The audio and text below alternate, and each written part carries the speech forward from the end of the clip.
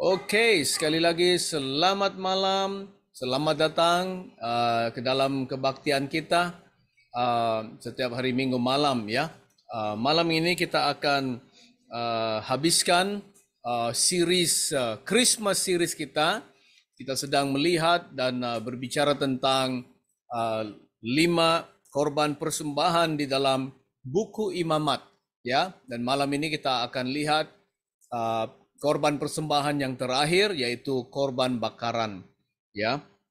Dan saya sengaja membawa ini kepada kita untuk kita renungkan kita pelajari uh, lima korban persembahan dalam buku imamat untuk merenungkan kebaikan Tuhan bahwa Allah itu kata firman Tuhan Yohanes 3:16 Allah begitu mengasihi dunia sehingga dia telah mengaruniakan atau memberikan anaknya yang tunggal ya dan barang siapa percaya kepada dia tidak akan binasa, tapi beroleh hidup yang kekal. Beroleh hidup yang kekal. Nah saudara-saudara, Yesus adalah korban persembahan kita. Dan uh, saya sudah jelaskan, uh, kalau kita lihat buku imamat dari pasal 1 hingga pasal 5, kita lihat urutan dia dari pasal 1, ya dari korban bakaran hingga pasal 5, korban penebus salah. Ya, tapi saya mulakan di dalam uh, dengan uh, pasal 5 yaitu korban penebus salah. Dan kita berjalan dari belakang. Uh, pasal 5 korban penebus salah, pasal 4 kor korban penebus dosa, pasal 3 korban uh, pendamaian. Uh, dan pasal uh, pasal 2 korban sajian, uh, pasal 1 malam ini korban bakaran. Dan ada sebabnya kenapa kita mulakan dari belakang. Karena kita semua bermula dari sana. Ya, kita adalah orang-orang berdosa, orang-orang yang bersalah dan berdosa. Kita perlukan pengampunan Tuhan, kita mula dari sana. Dan kita terus berjalan kepada korban penebus dosa, yaitu berbicara tentang dosa yang kita miliki, yang terima, kita terima dari dosa Adam dan Hawa. Mereka jatuh ke dalam dosa. Jadi Tuhan telah mengampuni dosa kita. Yohanes 1:29 katanya, lihatlah anak do, uh, domba Allah yang menghapus dosa dunia. Jadi Yesus itu bukan hanya ya menutupi dosa kita seperti uh, di dalam perjanjian lama, dosa mereka ditutupi ya dengan darah binatang ya, tapi Yesus datang bukan hanya untuk menutupi dosa kita sementara, tapi dia menghapus or remove our sin nature, menghapus dosa kita. Itulah pekerjaan Tuhan Yesus. Ya. Jadi setelah dia mengampuni kesalahan kita, mengampuni dosa kita, pasal 5 pasal 4, jadi dari situ kita boleh uh, mendapat pendamaian. Kita didamaikan bersama dengan Bapa di surga, dengan Allah sendiri, ya. Dan dari pasal 3, pasal 2, pasal 1 itu adalah korban yang kita beri kepada Tuhan secara sukarela. Ya, is a voluntary offerings. Bila-bila kita mau bersyukur kepada Tuhan, datang kepada Tuhan, kita boleh lakukannya. Tapi pasal 5, pasal 4 itu adalah persembahan yang mandatory, yang harus, yang harus. Jadi karena dua itu sudah diselesaikan, kita akan uh, mendapat uh, didamaikan bersama dengan Allah dan karena kita didamaikan dengan Allah, kita boleh bersekutu dengan Allah di dalam korban sajian pasal 2. Minggu lalu kita lihat. Jadi kita ada persekutuan dengan Tuhan. Ya, uh, Wahyu 3:20 kata Yesus dia mengetok pintu kita dan kalau kita mendengar suaranya, buka pintu dia akan masuk dan dia akan makan bersama dengan kita dan kita bersama dengan dia. Itu adalah fellowship. Ya, fellowship. Itu adalah persekutuan dengan Tuhan. Tuhan mau kita ada uh, waktu untuk bersekutu dengan Dia. Dan malam ini karena sudah diselesaikan masalah kesalahan kita, dosa kita, kita didamaikan dengan Allah, kita boleh bersekutu dengan Allah dan malam ini kita boleh menyembah Tuhan dengan luar biasa. Kita boleh bersyukur, kita boleh hidup dengan uh, committed sepenuhnya ataupun kita menyerahkan hidup kita sepenuhnya, kita boleh hidup sepenuhnya kepada Tuhan. Ya, ini adalah korban bakaran. Kita mempersembahkan hidup kita sepenuhnya dan inilah Kalau kita berbicara tentang Christmas, inilah message Christmas. Yesus telah datang dan mati bagi pihak kita. Sebenarnya kita yang harus mati karena dosa. Karena upah dosa itu adalah maut. Tapi karena Yesus menjadi pengganti kita, dia telah menebus kita. Jadi kita tidak perlu mati, tapi kita memperoleh hidup yang kekal karena Yesus menjadi pengganti kita. Ya, Yesus yang dihukum, Yesus yang dihakimi, Yesus yang telah mati bagi kita. Dan malam ini kita lihat di dalam korban bakaran ini. Haleluya. Haleluya. Amin.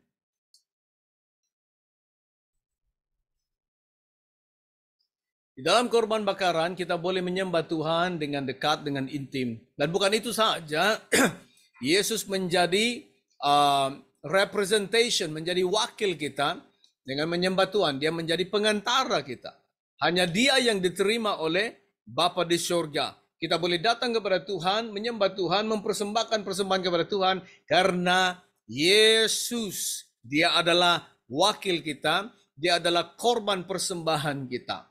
Haleluya. Dan bukan itu saja, korban bakaran juga berbicara tentang dedikasi kehidupan kita. Full dedication, full devotion. full devotion. Satu uh, kehidupan yang menyembah Tuhan. Jadi ini juga berbicara bahwa hidup sepenuhnya kepada Tuhan, mengikuti Tuhan sepenuhnya adalah boleh dilakukan. Ya, tidak lagi susah, tidak lagi mustahil, tapi boleh dilakukan. Ya komitmen yang sepenuhnya, menyembah Tuhan sepenuhnya, berjalan dengan Tuhan sepenuhnya, ya committed sepenuhnya dengan Tuhan. Itulah korban bakaran. Persoalannya malam ini, kalau saya tanya soalan malam ini, adakah kita sudah menyerahkan hidup kita sepenuhnya kepada Tuhan sebagai korban bakaran? Sepenuhnya. Tidak ada yang tertinggal. Tidak ada lagi yang disembunyi-sembunyikan. Tapi sepenuhnya diberikan kepada Tuhan. Itulah korban bakaran. Itulah kehidupan yang Tuhan mau kita hidupi di dalam dunia ini. Oh, haleluya. Haleluya. Haleluya. Nah, kita lihat di dalam buku Imamat pasal 1, kalau ada Alkitabnya, kita lihat Imamat pasal 1 Ah, malam ini kita lihat korban bakaran atau dipanggil olah. Olah ataupun ya asap yang naik kepada Tuhan, wangian yang naik kepada Tuhan, the ascending offering. Itulah maksudnya olah, ya. Di korban olah, ya. Uh, korban persembahan dalam bahasa Ibrani juga dipanggil korban. Ya, korban olah atau the burnt offering. Persembahan, korban persembahan, korban bakaran kepada Tuhan. Nah, korban bakaran ini bukannya sesuatu yang baru bagi orang-orang Israel waktu Tuhan perintahkan mereka tentang membawa persembahan uh, uh, bakaran, tapi ini sudah yang biasa dilakukan dari awal lagi. Kita melihat Adam dan Hawa jatuh dalam dosa, Tuhan juga menyembelih binatang ya me, uh, apa ini? Dia di um, apa mereka panggil to flay atau ya diambil kulitnya dan uh, ya mencurahkan darahnya dan Tuhan membuat pakaian dari kulit binatang itu untuk menutupi membajuhi Adam dan Hawa. Maksudnya Tuhan menutupi dosa mereka. Itu adalah simbol pengampunan diterima diampuni. Jadi Tuhan menutupi dosa mereka dan ketelanjangan mereka. Itu juga yang terjadi saat kita menerima Tuhan Yesus Kristus. Tuhan menutupi dosa, mengampuni dosa kita, dan Tuhan menutupi ketelanjangan kita. Itu kejadian 3.21. Di dalam kejadian 4 juga kita melihat korban ini saat Kain dan Abel mempersembahkan persembahan kepada Tuhan. Persembahan Abel adalah persembahan yang betul. Persembahan Kain juga adalah persembahan yang betul. Karena Abel mempersembahkan korban bakaran, Kain mempersembahkan korban sajian. Jadi Olah dan Minka ada di sana. Tapi kenapa persembahan Kain itu ditolak oleh Tuhan? Karena Kain tidak mempersembahkan korban berdarah atau blood sacrifice. Tuhan terima Abel dan persembahannya karena Abel mempersembahkan korban berdarah. Korban ya uh, apa ini dia mempersembahkan anak domba uh, kepada Tuhan itu berbicara tentang anak Allah yang akan datang Mesias juru selamat yang akan datang sebagai anak domba Allah yang menghapus dosa dunia. Ya, jadi urutan itu penting kan? Itulah kita mulakan daripada uh, pasal 5 imamat yaitu Asyam. Dari Asyam kita pergi kepada sin offering, hatat. Dari hatat kita pergi ke peace offering, korban damai atau pendamaian. Ya, shalom, shalamin. Dan lepas itu kita pergi kepada korban sajian yaitu minka dan korban bakaran yaitu ola. Jadi bukan sesuatu yang baru. Nabi Nuh setelah uh, banjir reda, ya dia keluar daripada batra itu, perkara yang pertama dia lakukan adalah mempersembahkan persembahan kepada Tuhan dalam kejadian 8 ayat 20 21. Jadi korban bakaran ini bukan sesuatu yang baru. Sudah dilakukan bukan orang Israel saja, tapi orang-orang lain juga, bangsa-bangsa lain juga yang bukan Israel juga mereka lakukan, ya. Jadi kenapa penting? Karena perintah Tuhan Tuhan kepada Adam dan Hawa, katanya jangan makan dari pohon tentang pengetahuan apa yang baik dan jahat. Karena Tuhan berkata pada hari kamu makan daripada pohon ini, daripada hari kamu menjamanya, kamu akan mati. Perkataan kamu akan mati itu katanya uh, ma, di, uh, mati kamu akan mati. Oh, in dying you shall die. Uh, memang benar Adam hidup 930 uh, tahun, begitu lama, tapi akhirnya dia mati juga, meninggal juga. Ya, jadi maksud Tuhan itu saat kita melanggar perintah Tuhan, berdosa, proses maut itu berjalan sehinggalah kematian tiba. Jadi Adam mereka mati pada hari mereka melanggar perintah Tuhan, makan daripada buah daripada pohon pengetahuan akan baik dan jahat, mereka mati rohani. Mereka terpisah dari persekutuan dari Tuhan. Dan setelah itu mereka mati secara fisikal. Kalau Tuhan tidak membunuh binatang, mengambil kulitnya, menutupi dosa dan ketelanjangan mereka, mungkin juga mereka mati kematian yang kekal eternal death. Sama dengan hari ini, karena dosa Adam, kita telah berdosa, kita mati. Efesus pasal 2 mengatakan kita telah mati karena pelanggaran-pelanggaran kita. Kita mati. Secara rohani kita mati. Terpisah dari Tuhan, kita tidak mengenal Tuhan. Tuhan menjadi musuh kita. Ada perpisahan dari Tuhan. Itu adalah mati rohani. Dan kita akan mati secara fisikal suatu hari nanti kita akan meninggal. Dan kalau kita tidak kenal Yesus, kita tidak menerima korban Yesus Kristus, penebus kita, juru selamat kita, anak domba Allah yang menghapus dosa dunia. Matius 1:21 katanya, dia adalah Yesus yang akan menyelamatkan umatnya daripada dosa mereka. Dan kalau kita tidak ada Yesus, kita akan mati dengan kematian yang kekal dilemparkan ke dalam lautan api, kematian yang kedua. Saudara-saudara, korban bakaran penting karena dia berbicara tentang Yesus anak Allah yang diutus Bapa dari sorga datang ke dunia, mati bagi kita untuk menebus dan menyelamatkan kita. Nah kita masuk lihat dari uh, imamat pasal 1.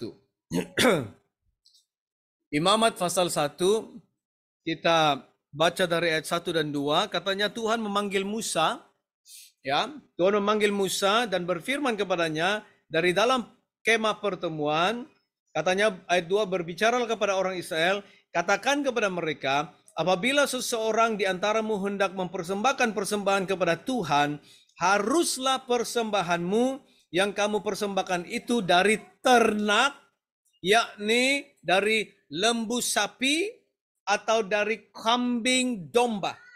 kambing domba. Ayat 10 dia mengatakan sama ada itu ada daripada uh, kambing ataupun uh, kambing jantan. Ayat 14 dia ber, berkata ia juga boleh dipersembahkan dengan uh, burung merpati, ya, burung merpati.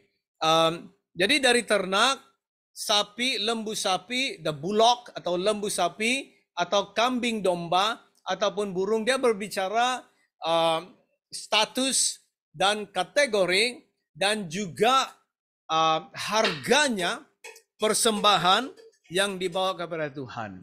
Lebih besar persembahannya, lebih besar harganya.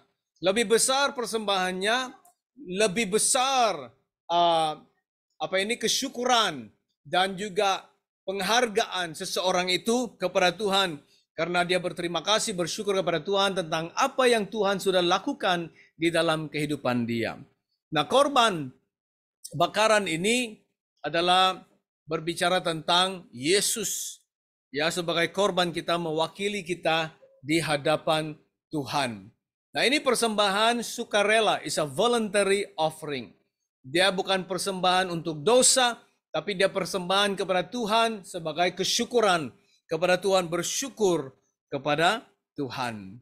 Nah, kalau yang um, persembahannya itu daripada uh, lembu sapi uh, ya lembu sapi yang besar, uh, kambing domba, dia berbicara kepada status orang yang lebih tinggi, mungkin orang yang berada, orang yang lebih kaya. Tapi kalau yang burung merpati ataupun yang paling miskin lagi dia boleh persembahkan tepung. Itu berbicara tentang orang miskin dan orang yang termiskin. Maksudnya status apa pun hidup kita sama ada kita kaya ataupun kita miskin, kita perlukan persembahan untuk mendekati Tuhan. Maksudnya juga setiap orang ada peluang untuk diampuni dosanya karena korban yang dia berikan kepada Tuhan. Maksudnya juga setiap orang tidak ada alasan bahwa dia tidak akan mempersembahkan kepada Tuhan karena Tuhan sudah menyediakan bahwa bukan saya menyediakan tapi dia memampukan mencukupkan setiap orang untuk datang kepada Tuhan dengan persembahan masing-masing. Jadi saudara-saudara, kalau kita hari ini kita datang gereja, Kata firman Tuhan, jangan datang dengan tangan kosong. Oh, saudara-saudara, kalau datang gereja, menyembah Tuhan itu gampang. Orang Indonesia bilang, senang untuk nyanyi, senang untuk duduk, ya, senang untuk datang gereja. Tapi saudara-saudara, saat offering tiba, oh dia berpikir, ah, berpikir. Ah. Kadang-kadang kalau offering datang, kita buka tas kita, buka kita punya uh, dompet, bag, kita tengok, kita mau cari note yang paling kecil. Kalau boleh shilling, shilling lah mau dibagi kepada Tuhan, kan? Ya, ini manusia. Ini manusia. Ya, manusia. Pak kata firman Tuhan, janganlah datang dengan tangan kosong. Ya memanglah kita tidak paksa karena sukarela berapa-berapa pun mau diberi kepada Tuhan. Tapi pemberian kita itu mempamerkan Apakah isi hati kita? Bagaimana besarnya kesyukuran kita kepada Tuhan? Bagaimana besarnya iman percaya kita kepada Tuhan? Karena Tuhan sudah memberi berkat kepada kita berlimpah-limpah, masakan kita beri yang kecil kepada Tuhan. Ya, kita berdoa, kadang-kadang kita doa Tuhan cukupkan, Tuhan berkati, Tuhan saya ada masalah, saya perlukan ribuan jutaan Tuhan, saya perlu. Tapi kalau memberi kepada Tuhan, Kecil-kecil kita beri kepada Tuhan. Ya, saya mau belajar untuk memberi kepada Tuhan.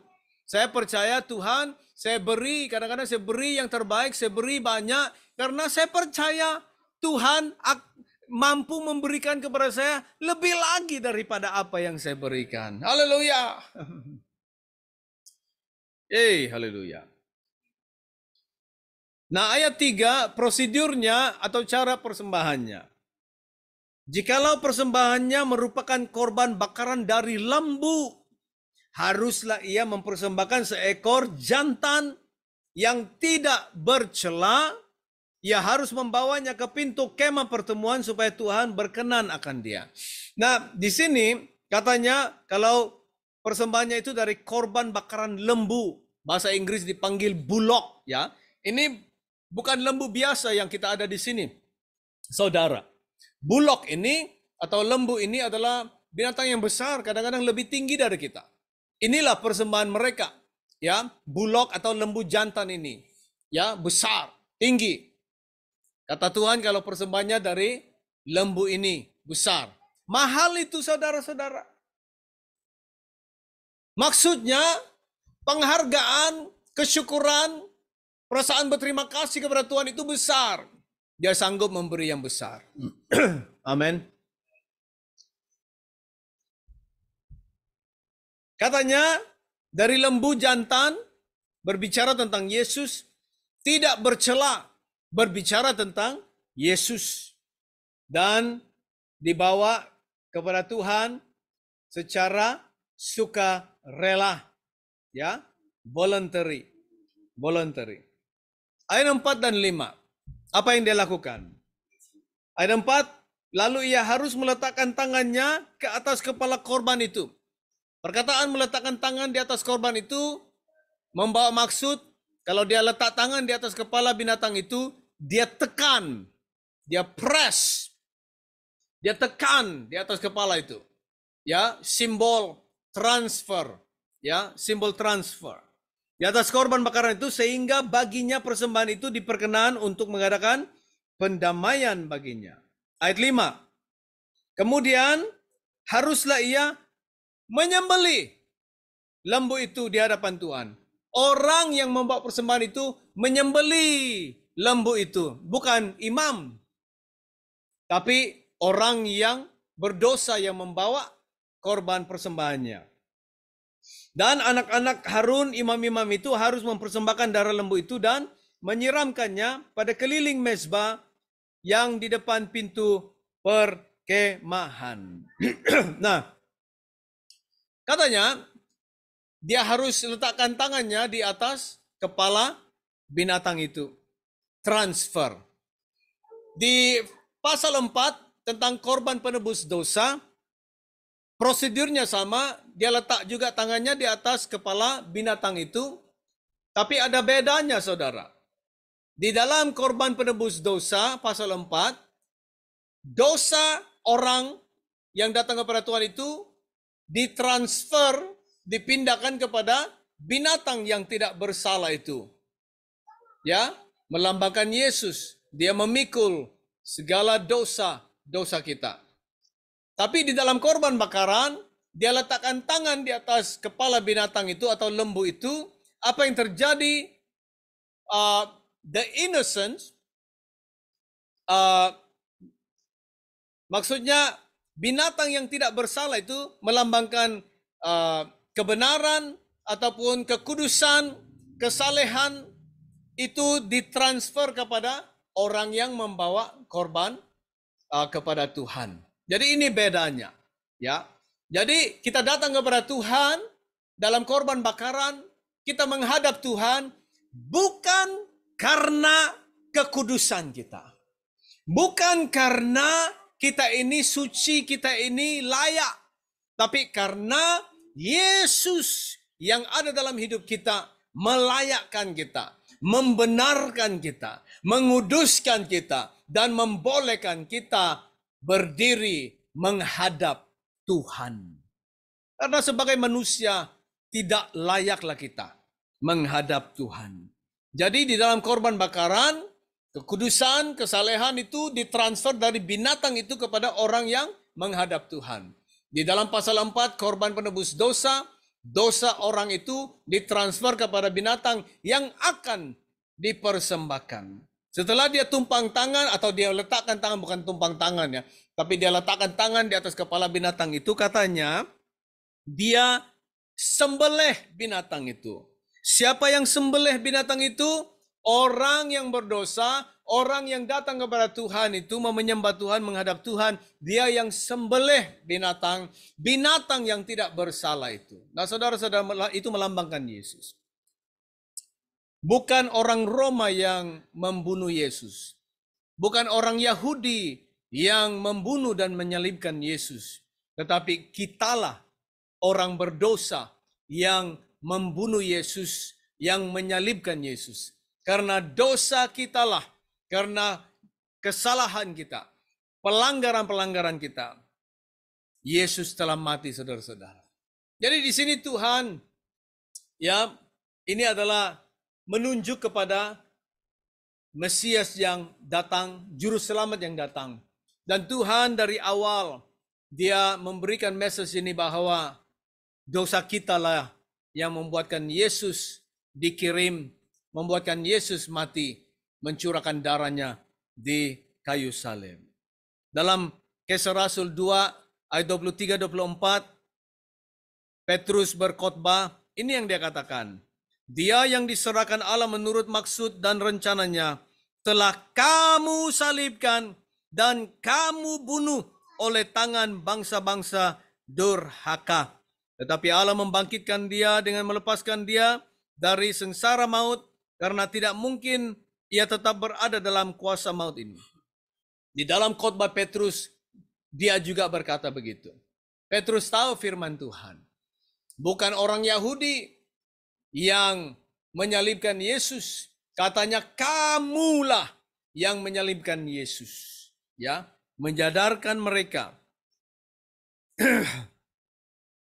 Dan uh, di ayat 6 hingga 9 katanya kemudian haruslah ia menguliti korban bakaran itu dan memotong-motongnya menurut bagian-bagian tertentu.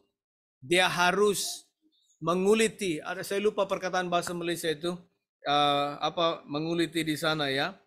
Um,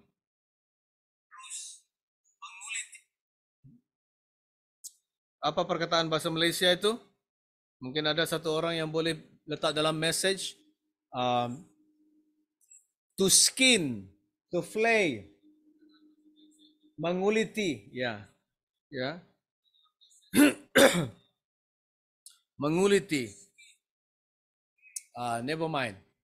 Jadi orang yang sudah sembelih, bawa persembahan, bawa lembu jantan, bawa sembelih, dan dia akan menguliti, mengambil kulitnya, ya, dia ambil kulitnya, menguliti korban bakaran itu dan memotong-motongnya, dia potong-potong, dia menguliti, dia potong-potong, uh, menurut bagian tertentu, anak imam haruslah menaruh api di atas mezbah dan menyusun kayu di atas api itu, dan mereka harus mengotok, mengatur potongan-potongan korban itu dan kepala kepala serta lemaknya di atas kayu yang sedang menyala di mes, atas mezbah. Tetapi isi perutnya dan betisnya haruslah dibasuh dengan air dan seluruhnya itu harus dibakar oleh imam di atas mezbah sebagai korban bakaran, sebagai korban api-apian yang baunya menyenangkan bagi Tuhan. Jadi orang yang sudah bawa persembahannya orang yang sudah uh, dia akan uh, sembelih, dia akan menguliti uh, korban itu dan dia akan potong-potong. Nah, yang dia bagi kepada para imam itu adalah kepalanya, lemaknya, dan isi perutnya dan kaki-kakinya. Ya, ini berbicara tentang Yesus. Kepala itu berbicara tentang Yesus yang tidak mengenal dosa. Ya, 2 Korintus 5:21. Dia yang tidak mengenal dosa telah dibuatnya menjadi dosa karena kita. Supaya dalam dia kita dibenarkan oleh Allah. Lemah itu berbicara tentang bagian yang terbaik bagi Tuhan. Kita bagi yang terbaik. Yesus adalah persembahan yang terbaik yang kudus yang diterima oleh Allah. Isi perutnya berbicara tentang kehidupan Yesus di dalam 1 Yohanes 3:5 dan kamu tahu bahwa ia telah menyatakan dirinya supaya ia menghapus segala dosa dan di dalam dia isi perutnya. Di dalam dia tidak ada dosa.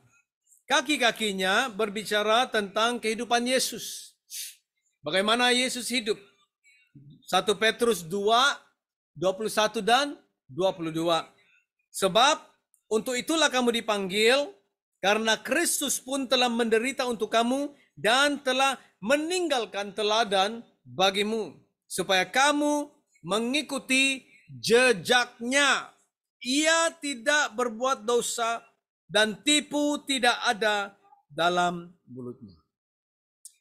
Korban bakaran ini berbicara tentang Yesus.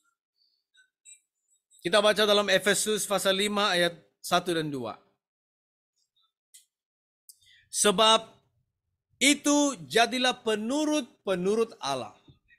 Seperti anak-anak yang kekasih dan hiduplah di dalam kasih sebagaimana Kristus Yesus juga telah mengasihi kamu dan telah menyerahkan dirinya untuk kita sebagai persembahan dan korban yang harum bagi Allah. Saudara-saudara, Yesus adalah korban bakaran kita. Suatu wangian yang naik kepada Tuhan itu adalah olah korban yang naik kepada Tuhan ya baunya wangi kepada Tuhan. Ini hanya terjadi karena kita sudah mengalami korban penebus salah, korban penebus dosa, korban pendamaian, korban sajian, dan korban bakaran. Korban kita hanya akan menjadi korban wangian bagi Tuhan kalau kita terima Yesus, mengalami Yesus dalam kehidupan kita. Kita tidak boleh menghadap Tuhan, mendekati Tuhan dengan usaha sendiri, dengan kebaikan kita sendiri, dengan perbuatan. Kita perlukan Tuhan Yesus, saudara-saudara. Di dalam Christmas ini, biarlah kita renungkan perkara ini. Allah begitu mengasihi dunia sehingga dia mengaruniakan anaknya yang tunggal. Barang siapa percaya kepada dia tidak akan binasa, tapi beroleh hidup yang kekal. Jadikan Christmas ini suatu titik permulaan.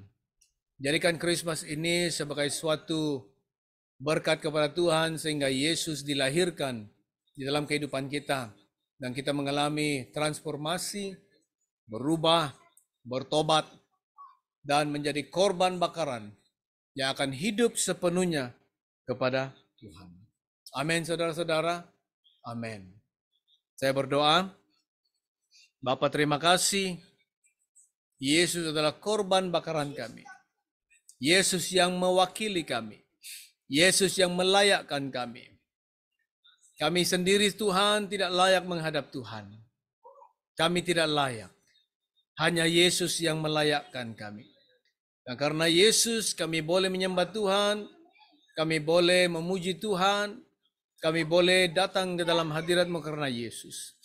Biarlah Christmas ini menjadi suatu pengalaman yang luar biasa yang akan membawa transformasi dan perubahan dalam hidup kami. Pertobatan yang benar sehingga kami menjadi manusia yang baru. Bapa, terima kasih. Kami bersyukur kepadamu. Terima kasih berkati firman-Mu. Biarlah firman-Mu menjamah banyak orang sehingga mereka mengenal Yesus, bertobat dan beroleh hidup yang kekal. Terima kasih Bapa. Di dalam nama Yesus kami berdoa. Amin dan amin. Haleluya. Uh, kita akan jumpa minggu depan saudara-saudara. Ya memang kita dorong Anda untuk mengadakan suatu uh, waktu yang indah bersama dengan keluarga Anda, teman-teman Anda. Tapi jangan lupa uh, renungkan kebaikan Tuhan, sembahlah Tuhan, biarlah Tuhan Yesus dilahirkan di dalam hidup Anda. Amin. Amin. Tuhan berkati. Shalom dan shalom.